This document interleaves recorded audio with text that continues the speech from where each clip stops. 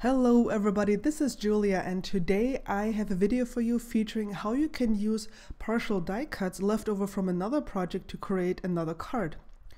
Um, I will be linking to this other project that I did using the Forest Friends by My Favorite Things.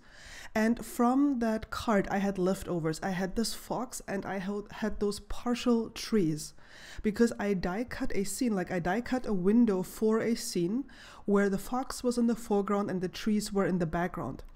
And because the trees were in the background, I only had like partial trees. But you can puzzle this together as you can see here, and you can create yet another scene. So I didn't, this is the card that I made originally, and you can see the scene that I created here. And these are the shapes that I cut out because I stamped on the other card. I didn't use the die cuts. Now I'm going to be using some pattern paper as well because I want to have some contrast and I'll be needing the pattern paper. And I'm going to adhere this to the bottom of my card base or of my panel. No, it's the card base actually. Just making sure that it's going to be there straight because, you know, it's going to be a contrast element. And if it's crooked, it's to show, especially with that very linear pattern. So I trimmed this off. This is the bottom of my card base here. And then I have this panel um, that's going to go on top and it's going to let uh, some of that pattern uh, some of that pattern show. Now I wet my paper here just with clean water and then I'm grabbing my Gansai watercolor pens. Now you can use any watercolor medium that you have. You don't need to go out and buy the specific one. This will work with any watercolor medium that you have. What I'm doing here is I'm going in the order of the rainbow from yellow to green to bluish purple colors and then to pink and uh, it's probably hard for you to see but the reason it's hard for you to see is that I'm doing a super super light wash. So my first wash was super light. Um, that was because I wanted to end end up with a very light wash and I wanted the colors to blend very nicely and I find that this is much easier when you do a very light wash first.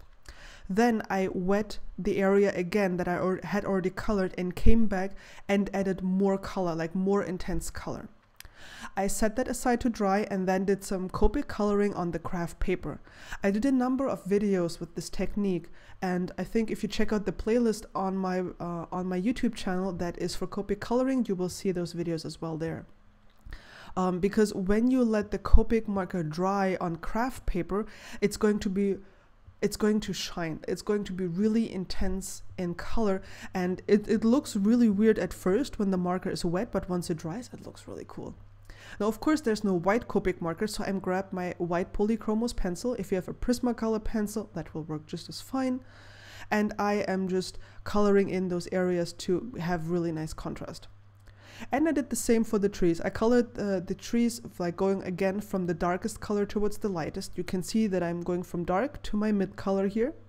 And then I'm grabbing my lightest green color and filling that in. And it's very easy to blend on the craft paper. Try whatever craft paper you have, but I'm pretty sure it will work. So here's my dried background. Paper's a little bit warped, but I know I'm not worried. I'm just gonna adhere it straight to my card base here. Trying to get this straight because I usually mess up at this step and then it's like, oh, I have to trim down the edges and then my card gets smaller and smaller. okay, so I actually have, oh yeah, I'm not, yeah, I forgot to stamp the sentiment. Figures, doesn't it?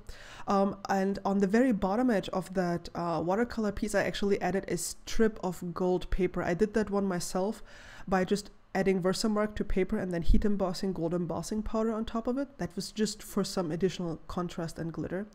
And then I'm using regular adhesive on those partial die cuts. And for the fox, I just placed it there so I would know where the trees would go. But I have some foam adhesive on the fox here, so it will be raised up a bit, just for some additional dimension, and I thought it would look cool. And it turned out to be really, really cool. I was so happy with how this card turned out. You can see the dimension here. So I'm basically I'm working with leftovers. This is this is the card that I created from leftovers. So I was so thrilled that it worked out so so nicely. And I'm grabbing my gel pen here, my white one, and just adding some fake highlights to the card. Here you can see that gold um, border that I added to the watercolor piece and just how nice of a contrast it makes to this um, uh, pattern paper. And here's the dimension that I created with the fox being foam mounted. And there are also some sequins in the background. I hope you can see that. Um, there's some sequins in the background from Pretty Pink Posh. These are like in matching colors of the watercolor background, which turned out really nice. I was really happy how that one turned out. Thank you so much for watching. I hope you got inspired. And if you like, please subscribe to my channel. Cheers!